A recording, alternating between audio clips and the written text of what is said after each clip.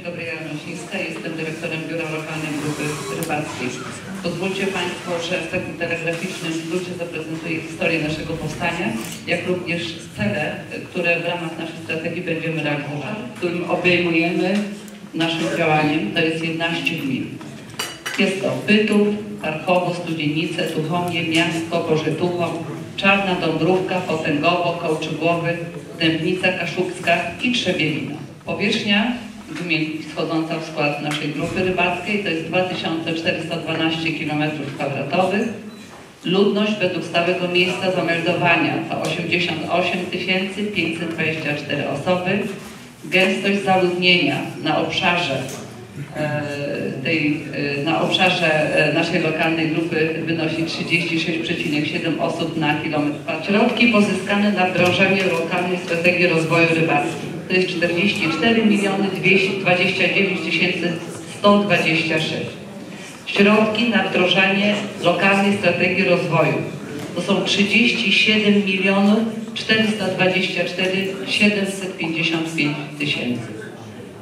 Środki na funkcjonowanie lokalnej grupy rybackiej to są 4 miliony 402 tysiące 920 zł i środki na współpracę międzyregionalną i międzynarodową to jest ponad 2 miliony. Ponieważ w ramach naszej działalności musimy nawiązywać współpracę zarówno e, krajową, jak i współpracę e, międzynarodową. Chciałam powiedzieć, że możemy się pochwalić już taką współpracą. Nawiązaliśmy już współpracę e, z litewską grupą rybacką i nasz budżet to, no to jest budżet na cztery osie, które będziemy realizowali. Budżet ten wynosi 37 milionów 424 755 zł. Pierwszą operacją w ramach tego budżetu jest operacja pod nazwą wzmocnienie konkurencyjności i utrzymanie atrakcyjności obszarów zależnych od rybactwa. Proszę Państwa, tutaj to głównie infrastruktura społeczna. Z tych 19 milionów 813 106 zł 24% przeznaczone jest na sektor publiczny. Następna operacja restrukturyzacja i reorientacja działalności gospodarczej oraz dywersyfikacja zatrudnienia osób mających pracę związaną z sektorem rybactwa w drodze tworzenia dodatkowych miejsc pracy poza tym sektorem. 4 miliony 402 912 zł. Proszę Państwa, ta operacja skierowana jest tylko i wyłącznie do sektora rybackiego. Trzecia operacja podnoszenie wartości produktów rybactwa oraz rozwoju usług na rzecz społeczności zamieszkałej obszary zależne od rybactwa. 4 miliony 402 912 zł. Proszę Państwa, w ramach tej operacji tutaj aplikować mogą głównie podmioty gospodarcze, te, które już powstały lub te, które po prostu e, osoby, które mają zamiar prowadzić działalność gospodarczą. I ostatnia operacja to jest ochrona środowiska i dziedzictwa przyrodniczego na obszarach zależnych od rybactwa w celu utrzymania jego atrakcyjności oraz przywracania potencjału produkcyjnego sektora rybactwa w przypadku jego zniszczenia w wyniku klęski żywiołowej. 8 milionów 805 tysięcy 825 zł.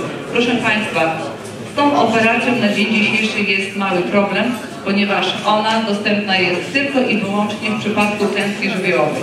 Z informacji, które posiadam z Ministerstwa Rolnictwa, będzie nowelizacja e, rozporządzenia, które, e, które pozwoli, aby w ramach tej operacji można było aplikować nie tylko w przypadku klęski żywiołowej. Panie Ministrze, bardzo dobrze, że Pan jest, bo właśnie z tą operacją mamy tutaj naprawdę duży problem.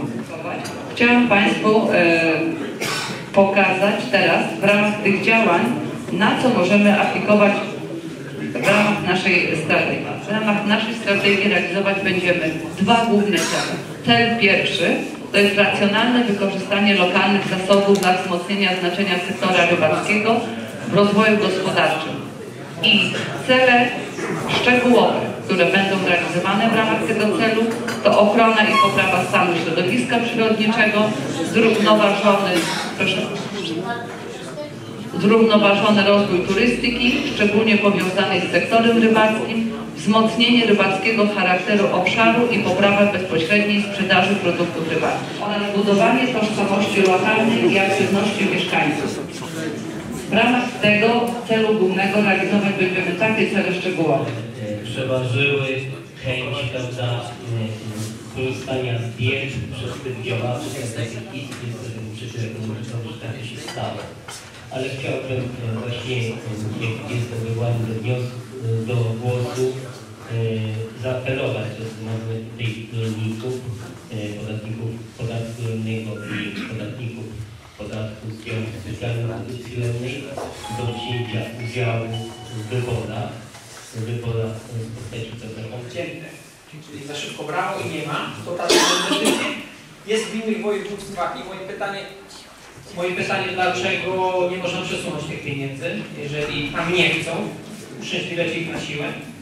I, a jeżeli nie można, to może Ministerstwo Zielone rozdysponowało te koszyki na województwa, żeby to my jako jeżeli się rolnicy dostaliśmy mniej, y, jak to będzie przyszłościowo, czy żeby nie było dyspo- predyspozycji, że znowu ci kto chcą nie dostaną, a ci to nie chcą, no to może na siłę albo coś tam. I jeszcze jedno takie pytanie, jestem e, członkiem zarządu Zrzeszenia Producentów Trzody Chlewnej i właśnie o tych, co Pan tutaj mówił o tej górce, chciałbym się dowiedzieć, co ministerstwo zrobiło w sprawie afery dioksenowej, kiedy to Niemcy na koło pozbywali się e, wszystkiego i tego, co było z dioksyną i tego, co było bez, bo było wiadomo, że państwa unijne odetną się od tej wieprzowiny, no a my jakoś nie żebyśmy się od tego odcięli, od tego, od tego jakby, no, niekonkurencyjnego miejsca, Unia konkuren, konkurencję ma ze sobą na warunkach równych, a to było jakieś takie miejsce, nie wiadomo. Yy, firmy, które nie bardzo, nie bardzo były ostatnio zainteresowane, były firmy, które, które wprowadzały częściowo mięso, to teraz na przełomie którego tysiąc w ogóle nie były, w ogóle nie były zainteresowane skupem. Czyli pan, który prowadził skup, no na siłę, na pod, no może nie, takie to w ogóle nie był zainteresowany, czyli potężna firma z Hołnic, która myśleliśmy, że wciągnie nas razem z tymi naszym trzodą, to w ogóle nie skupuje tutaj z naszego terenu. Inspekcja weterynaryjna ma wystawiać świadectwa. Trzeba wiedzieć, na jakiej zasadzie to ma wyglądać. Pan minister mówił, że będą, że będą odpowiedni pracownicy, którzy będą świadectwa wystawiać. Dzisiaj, czy przedtem, wygląda to, to tak, że do mnie lekarz przyjeżdża to trzy dni czy co dwa, u mnie świnie leczy, czy inne zwierzęta. I przy tej okazji, będąc tam w poniedziałek, wystawia świadectwo, które jest trzy dni ważne i, i ja mogę we wtorek, w środę sprzedawać, tak? Świadectw wolnego rzeźnik nie ma i nie będzie. Tak, panie ministrze, nie będzie. Ja nie Do rzeźni. Do rzeźni mogą iść tylko zwierzęta zdrowe, w związku z tym e, nie jest to potrzebne, nie jest potrzebne świadectwo. Jeżeli nie jest pro- prowadzone zwalczanie nie jest, czy no, w tej chwili pan minister, inspekcja weterynaryjna i wszyscy konsumenci yy, darzą zaufaniem producenta. Jeżeli producent trzody chlebnej sam nie leczy, nie podaje środków różnego rodzaju, yy, stosuje się do opinii lekarskiej, lekarstwo weterynaryjnej. Jeżeli te zwierzęta są zdrowe, nie są, nie są zgłoszone problemy do lekarza weterynarii, a lekarz weterynarii dopłaca do lekarza weterynarii, w związku z tym te świnie mogą iść normalnie do rzeźni, a świadectwo zdrowia i nie ma żadnych opłat. I świadectwo zdrowia z tego co na pewno nie będzie. Oczywiście na punkty skupu, tak, owszem, w związku z tym, że zwierzęta mogą być wprowadzone do obrotu, Sprawa dotycząca zmiany rozporządzenia w sprawie płatności za otrzymywanie gruntów w tzw. zielonej szacie na terenach trudnych do uprawy, czyli ONW. Projekt został przygotowany, został przekazany do Komisji Europejskiej do konsultacji. Na dzisiaj nie mam odpowiedzi. Jeżeli Komisja Europejska zdecyduje, że rzeczywiście możliwości finansowe pozwalają na wdrożenie tego programu, to oczywiście, tak Pan doktor, jak Pan Rybiński wspomniał, 80% płatności powinno być dla tych rolników, którzy produkują i utrzymują w dobrej strukturze grunty narażone na erozję. Mięso, które zostało wprowadzone na polski rynek z Niemiec, tak, prawdą jest to, że zostało wprowadzone, tylko zostało ono wiezione na teren Polski, ponieważ nasi przetwórcy kupowali za 1 euro 1 kg łucz. To Państwo dobrze wiecie. I afera dioksynowa, bo o niej też była mowa. warto dwa zdania komentarza. Po pierwsze, co zrobił rząd w tej sprawie? Rząd poprzez inspekcję weterynaryjną uruchomił wszystkie działania, które wynikają z prawodawstwa i krajowego, i unijnego. Zostały przeprowadzone badania z tych transportów, które były wwożone do Polski. I Instytut Weterynarii Głowa, który badania przeprowadzał, nie stwierdził zawartości dioksyn w tym miejscu, które było do Polski wprowadzone i z tych transportów, kontrolowane. To jest. Inną jest rzeczą to, że Polska też nie jest zbyt winna, bo my eksportowaliśmy olej rzepakowy jako olej techniczny na teren, na teren Niemiec, który był wykorzystany do produkcji paszy. Warto też o tym pamiętać, więc to nie jest takie jednostronne, że tylko możemy patrzeć, że ktoś tam zawinił. My też do tego, nie daj Boże, rękę dołożyliśmy, bo takie są też oficjalne dokumenty. Dwa instrumenty, które są do dyspozycji ministrów rolnictwa państw Unii Europejskiej. Pierwszy instrument dopłaty z budżetu Unii Europejskiej do eksportu mięsa i drugi instrument to, jest, to są dopłaty do indywidualnego przechowalnictwa. I z tego instrumentu możemy korzystać, bo taką decyzję podjęła Unia Europejska na wniosek ministrów rolnictwa państw Unii, kiedy ten trudny moment na rynku wieprzowiny wystąpił. To tak rozdrobnimy tę pulę, która jest do dyspozycji, no to każdy coś dostanie, tak?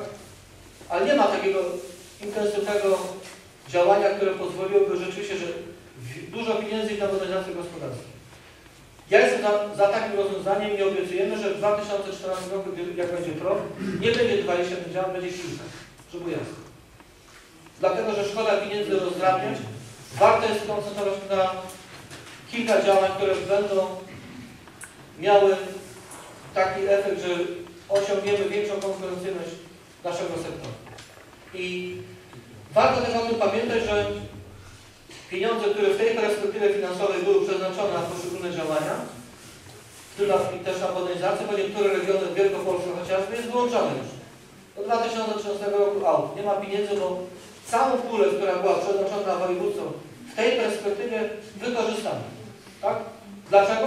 No bo to wynika z prostego przelicznika, który był zastosowany na początku, kiedy program rozwoju obszarów wiejskich wdrażano, a ten wskaźnik polegał na tym, że się bierze pod mm, wzgląd liczbę gospodarstw i wielkość gospodarstwa. I dlatego regiony, gdzie jest dużo gospodarstw i małych, typu Wielkopolska, Podkarpacka, ma więcej pieniędzy na modernizację, a tych pieniędzy nie wykorzystują dlatego, że rolnicy nie mają możliwości dołożenia nawet tych swoich 25% do tych pieniędzy, które pochodzą z budżetu Unii. Mało tego. I tutaj też, żeby być sprawiedliwy. Do końca 2013 roku ta sytuacja się nie zmieni, że niektóre regiony nie wykorzystują do końca środków finansowych na modernizację, dlatego, że nie ma na to zgody.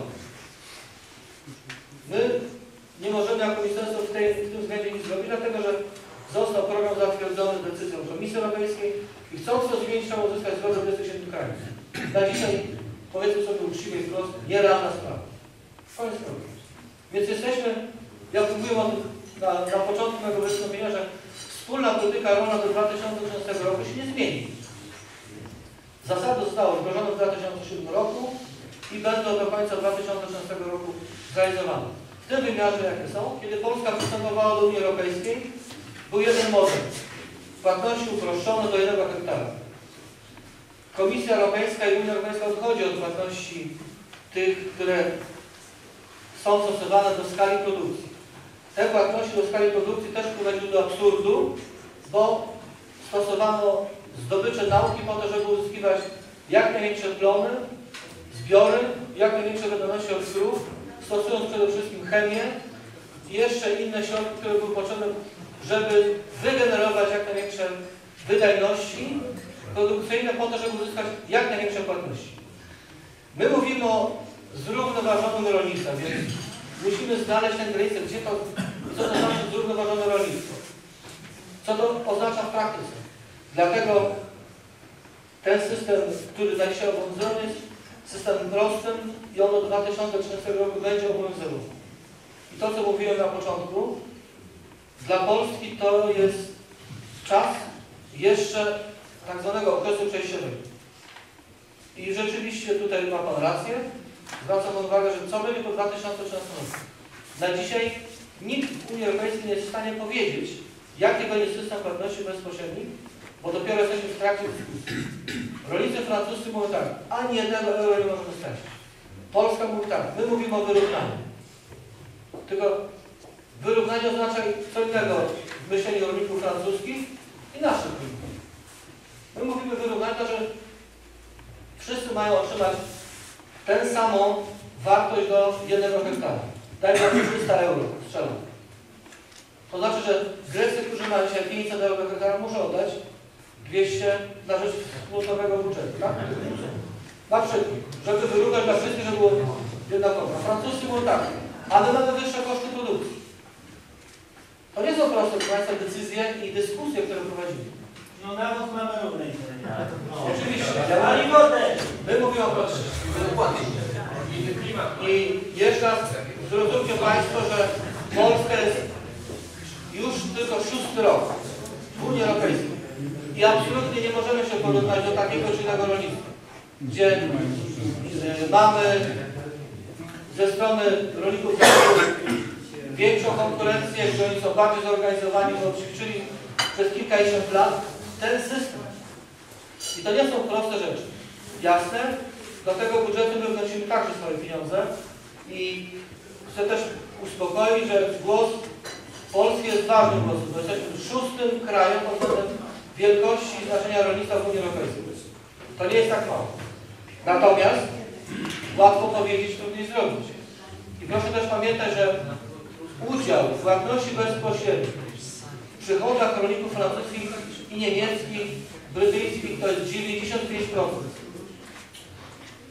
Płatności bezpośrednie w przypadku polskich rolników, w przychodach polskich rolników stanowią około 50-55%. I gdyby rzeczywiście założyć brutalną tezę, odchodzimy w ogóle od płatności bezpośrednich całej Unii Europejskiej, to nasi rolnicy mieliby komfortową sytuację. Bylibyśmy bardzo konkurencyjni. Bylibyśmy bardzo konkurencyjni.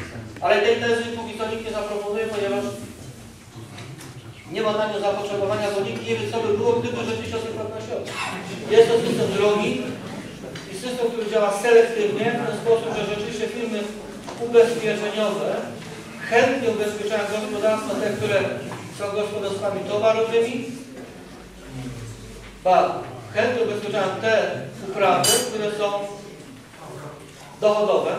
Na przykład rzepak jest ubezpieczony w 85% jeżeli chodzi o powierzchnię uprawy.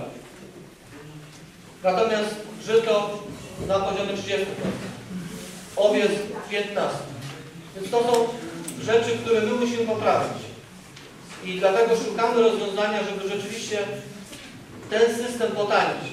To znaczy do systemu wprowadzić pieniądze z budżetu Unii Europejskiej po to, żeby rolnik nie płacił 50% składki, tylko 35% składkę, żeby zachęcić na początkowym etapie do tego, żeby zbudować system, który będzie powszechny i systemem opłacalnym.